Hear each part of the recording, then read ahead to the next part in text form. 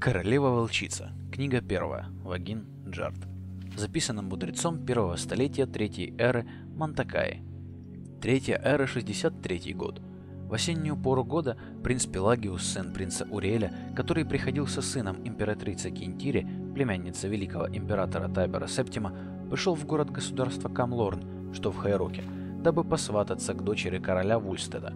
Имя ее было Квинтила – Прелестнейшая из венценосных дочерей Тамриэля, она обладала всеми женскими добродетелями и была к тому же искусной волшебницей.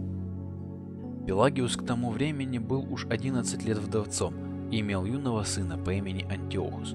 Прибыв ко двору, Пелагиус узнал, что городу угрожает демон Вервольф. Вместо сватовства и ухаживаний Пелагиус и Квинтила отправились спасать королевство.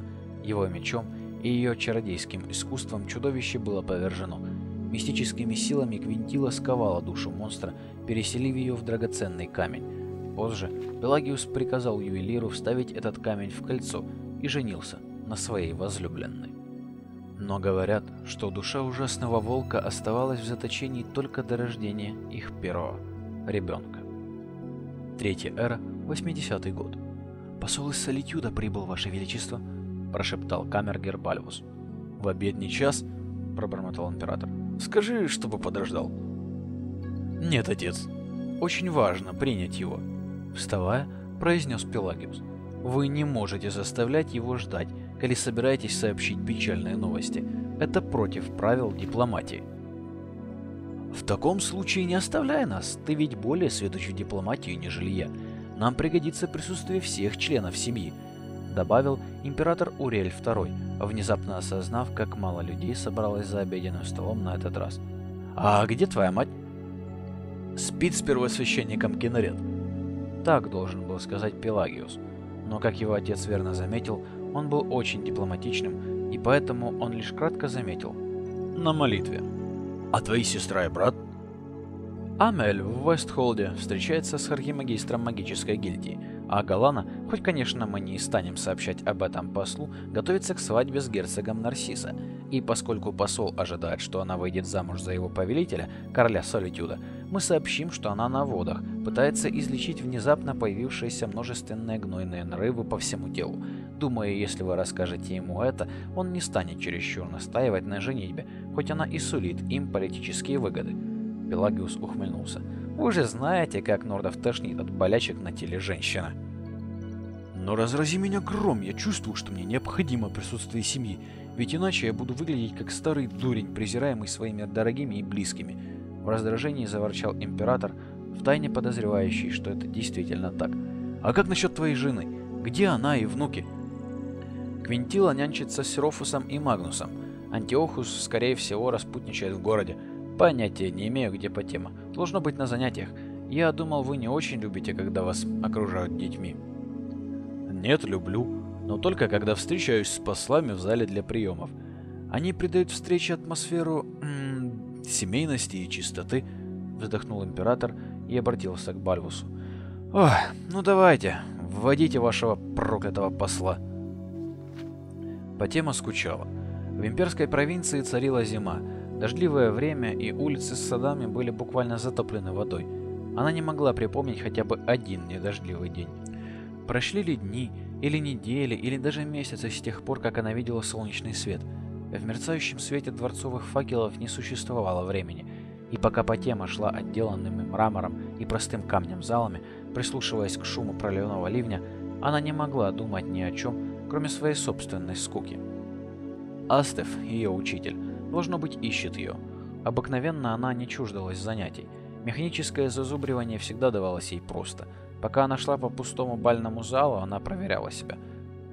Падение Арсениума. Первая эра, 980 год. Тамрильские хроники. Автор – Хазей. Дата рождения Тайбера Септима. Вторая эра, 288 год. Правящий король Даггерфола – Мортин, сын Готлера. А Сильвинара – Варбарент, сын Варбарила. Главный полководец Лилмата – Непростой вопрос. Это дама. Зовут Иоя. Что если я буду вести себя как положено, не буду попадать в неприятности, и мой учитель будет считать меня прекрасной ученицей? Мать и отец вряд ли сдержат обещание и купят мне доидрическую катану в личное пользование и скажут, что, во-первых, они такого обещания не помнят, а во-вторых, это слишком дорого и опасно для девушки моего возраста. Из приемного покоя императора доносились какие-то голоса. Отец, дед и человек со странным акцентом, похоже, северянин. Потема вынула расшатанный камень за гобеленом и прислушалась. «Позвольте говорить откровенно, Ваше Императорское Величество», — донесся голос северянина. «Мой повелитель, король Солитюда, вовсе не был бы обеспокоен, даже если бы принцесса Галана выглядела как арчиха. Он хочет заключить союз с императорской фамилией, и вы согласились отдать ему Галану, иначе вы будете вынуждены вернуть те несколько миллионов золотом, что он предоставил вам на подавление каджитского восстания в Торвале. Вы поклялись честью выполнить этот договор». «Я не припоминаю подобного договора». Голос ее отца был тверд. «А вы, сир?» Раздалось неразборчивое ворчливое покряхтывание, по которому Потема узнала своего деда, постарелого императора. «Что ж, наверное, придется пройти в зал записи, коли уж моя память так подводит меня». Голос северянина был исполнен сарказма. «Я ясно помню вашу печать, нанесенную на договор прямо перед тем, как он был спрятан под замок. Но воистину, я не застрахован от ошибок. «Мы пошлем пажа в зал за договором, на который вы ссылаетесь», — ответил голос ее отца, жесткий и холодный, как всегда бывало перед нарушением обещания. О, эти интонации по теме были прекрасно известны. Она поставила на место расшатанный камень и поспешила в бальный зал. Она знала, как медленно передвигаются пажи, исполняющие приказы немощного императора. Она могла добраться до зала записей за минуту. Конечно же, массивная дверь черного дерева была заперта, но она знала, что делать. Год назад она застала одну из горничных своей матери за кражей драгоценностей и, в обмен на молчание, принудила Босмерку научить ее вскрывать замки. Потема вытащила из броши с красным бриллиантом две булавки и вставила первую в один из замков, стараясь удерживать кисть от дрожи. Одновременно она лихорадочно припоминала расположение прорезей и стопоров внутри механизма замка. У каждого замка есть свое строение. Замок в кухонной кладовой, 6 свободных стопоров, седьмой не проворачивается, и еще есть контрвинт. Она открыла его просто ради развлечения, но если бы она хотела кого-нибудь отравить, при этой мысли она всегда внутренне улыбалась, все домашние уже отправились бы на кладбище. Замок в тайнике ее брата Антиохуса, содержащем коллекцию каджитской порнографической живописи два свободных стопора и жалкая отравленная игла, обездвиживаемая легким нажатием на противовес. Но это была хорошая добыча. Странно, но Антиохус, признанный бесстыдник, оказался чувствителен к шантажу. Однако ей было всего лишь 12, и извращения кашка-людей и сиродильцев казались чем-то академически отстраненным. Антиохус был вынужден подарить ей бриллиантовую брошь, которую она припрятала. Ее никогда не могли поймать.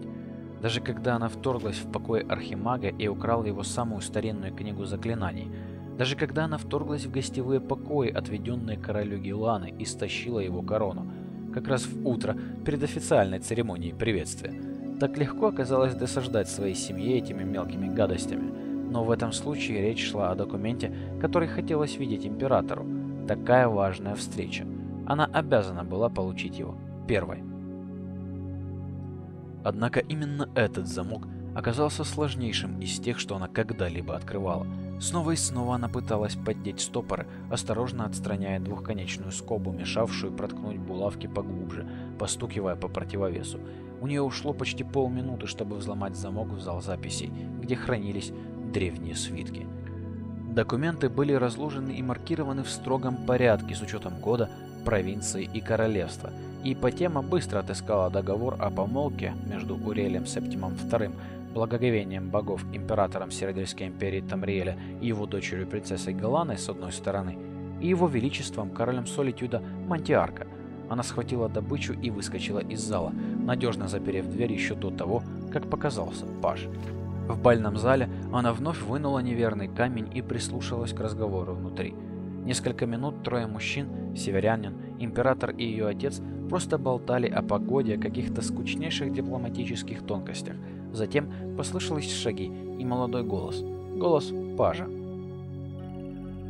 Ваше императорское величество, я осмотрел зал записей и не смог отыскать документ, который вы приказали принести. Вот, вы же видите, донесся голос отца Патема.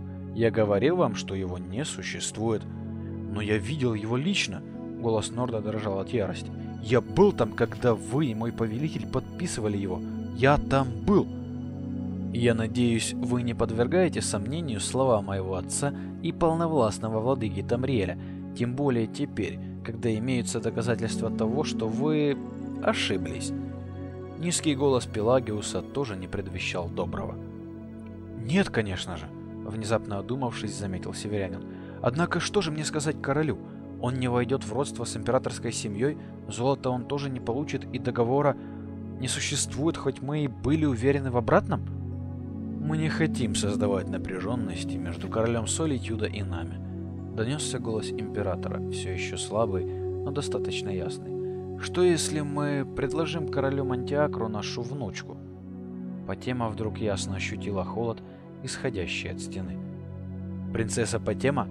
Не слишком ли молода она?» — осведомился северянин. «Она уже достигла тринадцати», — заметил ее отец. «Выходит замуж и раньше, чем она». «Полагаю, она будет идеальной парой для вашего короля», — сказал император. «Общеизвестно, да и я так сам думаю, что она невинна и застенчива, но я уверен, она быстро познает все тонкости двора. В конце концов, она принадлежит к роду Септимов, и из нее выйдет прекрасная королева Солитюда, не сногсшибательная красавица, но высокородна. Степень родства у внучки менее значительна, чем у дочери, убитым голосом заметил Норд. Но у нас нет путей и возможностей отклонить ваше предложение. Я пошлю моему королю донесение. Мы дозволяем вам покинуть нас, сказал император. Потема услышала, как северянин покинул комнату. Из глаз Потемы струились слезы. Она знала, кто правит Солитюдом. Из своих учебников. Мантиарка. Толстяк 62 лет. И еще она знала, где находится Солитюд. Как холодно там, в этом сердце северных ветров. Ее отец и дед были готовы сослать ее на север, к варварам. Из комнаты продолжали доноситься голоса. «Молодец, мальчик.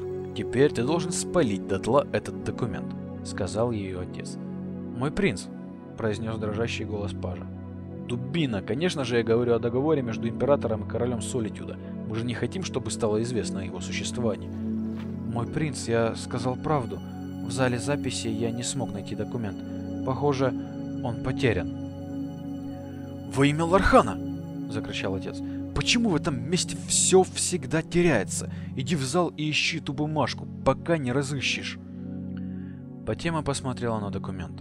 Миллионы золотом обещаны королю Солитюда в том случае, если он не женится на тетушке Галане.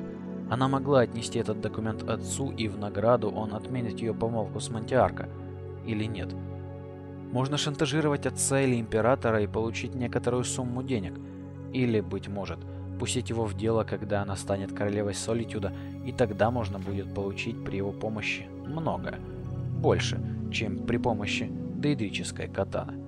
Патема вдруг поняла, что у нее много возможностей, и еще, что скука отступает.